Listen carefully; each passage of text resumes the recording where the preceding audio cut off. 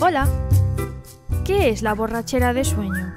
¿O cuál es el origen de la palabra caca? Por esto y por mucho más, quédate a ver el vídeo. ¡Empezamos! ¿Cuál es el origen de la arroba para el correo electrónico? El símbolo arroba utilizado en las direcciones de correo electrónico tiene un origen que se remonta a la Edad Media. Originalmente la arroba era una unidad de medida utilizada en España y otros países de Europa para determinar el peso de productos agrícolas, especialmente granos y líquidos. El término arroba proviene del árabe arub, que significa cuarta parte. En la medida de peso, una arroba equivalía a un cuarto de quintal.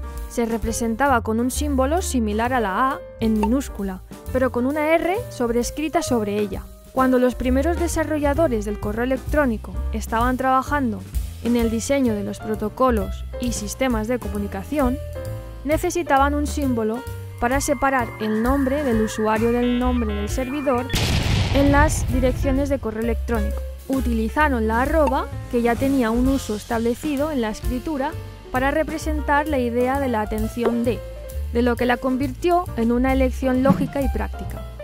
Así, el símbolo arroba se adoptó como parte integral de las direcciones de correo electrónico y su uso se generalizó rápidamente a medida que crecía la popularidad y la expansión de Internet. ¿Cuál es el medio de transporte más seguro? Determinar el medio de transporte más seguro depende de varios factores, incluyendo la distancia del viaje, las condiciones del camino, el clima y otros factores pero es innegable que el avión sobresale en cuanto a seguridad. Los aviones comerciales están diseñados y mantenidos siguiendo estrictas regulaciones de seguridad y las tripulaciones reciben entrenamiento exhaustivo para lidiar con una variedad de situaciones. Además, la industria de la aviación está constantemente mejorando la tecnología y los protocolos de seguridad para minimizar los riesgos. Este medio de transporte registra apenas un accidente grave por cada 2,4 millones de vuelos. Si lo comparamos con cifras relacionadas con los automóviles, tan solo en España, en el año 2020, se reportaron 870 muertes en accidentes de tráfico. Otros medios de transporte considerados seguros incluyen los trenes de pasajeros en vías electrificadas, que también están sujetos a regulaciones estrictas y se benefician de tecnología avanzada de señalización y control. En términos de seguridad en la carretera, los autobuses suelen ser considerados más seguros que los automóviles privados, ya que están diseñados para cumplir con estándares de seguridad más estrictos.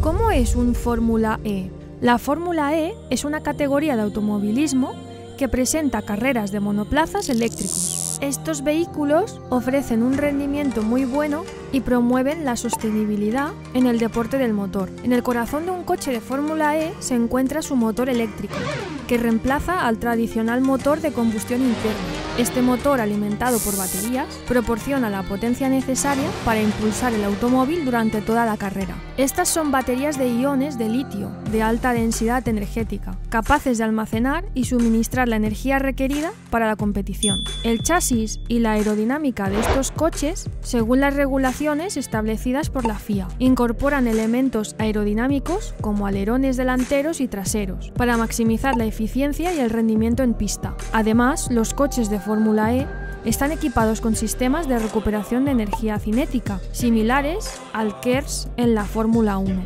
Estos sistemas convierten la energía cinética generada durante la frenada en energía eléctrica, que se almacena en la batería y se utiliza para proporcionar un impulso adicional durante la carrera.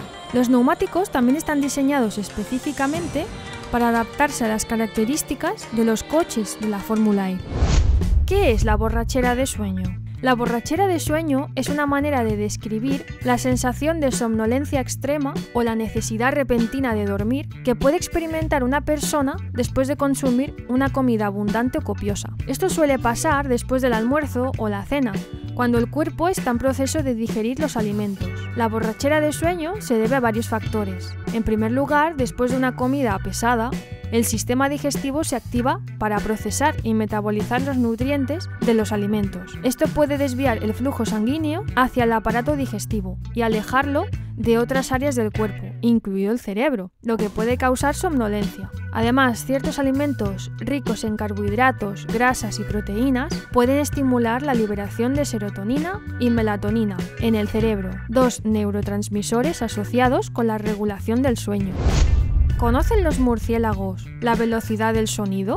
Sí, los murciélagos tienen la capacidad de usar la ecolocalización, un proceso en el que emiten sonidos de alta frecuencia, y luego escuchan los ecos que rebotan en los objetos que los rodean. Esta habilidad les permite ver su entorno y detectar objetos, como presas o obstáculos, incluso en la oscuridad total. Para usar eficazmente la ecolocalización, los murciélagos deben tener un buen entendimiento de la velocidad del sonido en el medio en el que están volando. La velocidad del sonido varía según el medio en el que se propaga. Por ejemplo, en el aire a nivel del mar, la velocidad del sonido es aproximadamente de 343 metros por segundo. Sin embargo, esta velocidad puede cambiar en diferentes condiciones ambientales, como la temperatura, la humedad y la altitud. Los murciélagos ajustan su ecolocalización según la velocidad del sonido en el medio en el que se encuentran, lo que les permite calcular distancias y localizar objetos con precisión.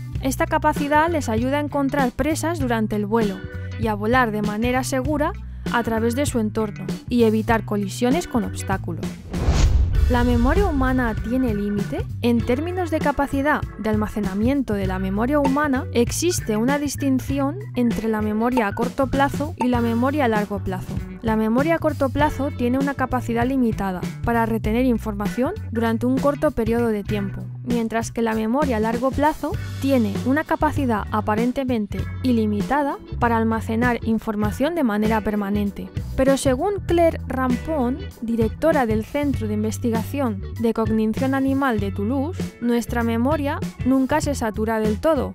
Siempre hay espacio para aprender y añadir información. Los recuerdos a largo plazo se almacenan en el córtex cerebral, donde las neuronas crean la sinapsis encargada de conservarlos. Aunque la memoria tiene sus límites naturales, la afirmación de Rampon destaca que siempre hay espacio para aprender y añadir nueva información. ¿Cuál es el origen de la palabra caca? La palabra caca tiene un origen incierto y no está completamente claro cómo surgió. Es una palabra vulgar que se utiliza para referirse a las heces humanas o animales. Algunas teorías sugieren que la palabra caca podría derivar de raíces latinas relacionadas con la idea de excremento o desperdicio, como la palabra cacare, que significa defecar en latín vulgar. Otras posibilidades es que tenga su origen en el griego caca, que también se refiere a las heces. En cualquier caso, caca es una palabra común en muchos idiomas y se utiliza coloquialmente para describir la materia fecal. A lo largo del tiempo ha adquirido connotaciones culturales y sociales, que la han convertido en una palabra reconocible y utilizada en diversos contextos.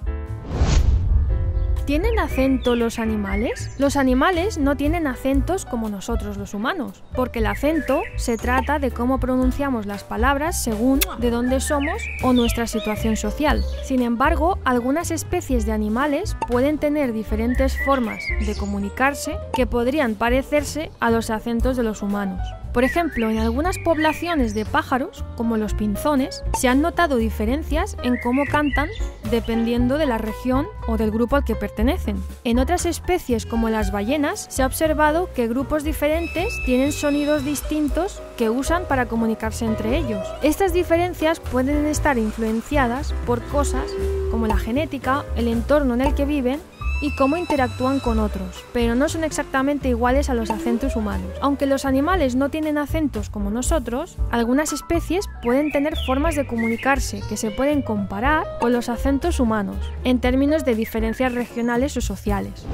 ¿Qué es la sangre de drago? La sangre de drago es una resina roja y espesa que se extrae del árbol de drago conocido científicamente como Croton lechleri. Este árbol es nativo de las regiones tropicales de Sudamérica, como la Amazonia peruana, y se encuentra también en otros países de América Latina. La resina de sangre de drago se obtiene haciendo incisiones en la corteza del árbol y recogiendo la savia que se desprende. Al contacto con el aire, esta savia se solidifica y adquiere un color rojo intenso, de ahí su nombre. Se ha utilizado durante siglos en la medicina tradicional debido a sus supuestos beneficios para la salud. En la medicina herbal, la sangre de drago se utiliza por vía tópica para tratar diversas afecciones de la piel, como heridas, quemaduras, úlceras y picaduras de insectos. Se cree que tiene propiedades antiinflamatorias, cicatrizantes y antimicrobianas que pueden ayudar en el proceso de curación de la piel.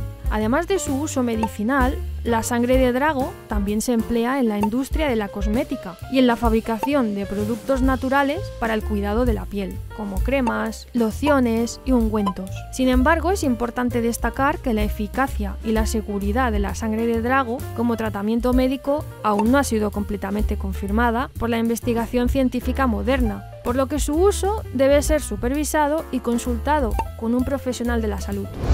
¿Cómo murió Mafalda de Saboya? Mafalda de Saboya, princesa de Italia, falleció trágicamente durante la Segunda Guerra Mundial. En agosto de 1944, mientras se encontraba detenida por las autoridades nazis en el campo de concentración de Buchenwald, resultó gravemente herida durante un bombardeo aliado contra el campo. A pesar de recibir atención médica, las lesiones sufridas fueron demasiado graves y falleció el 27 de agosto de 1944 a la edad de 37 años. ¿Pero cómo acabó allí?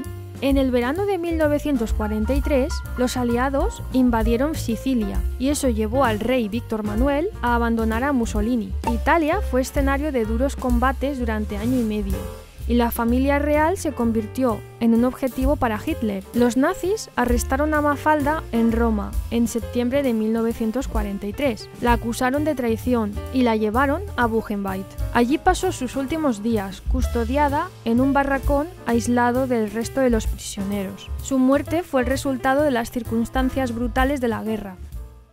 En el próximo vídeo... ¿Por qué las hormigas no se hacen daño cuando caen?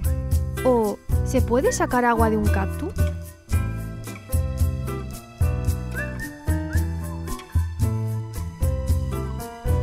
Y recuerda que si te gustan nuestros vídeos, puedes darnos una croqueta virtual. Síguenos en nuestras redes y suscríbete a nuestro canal.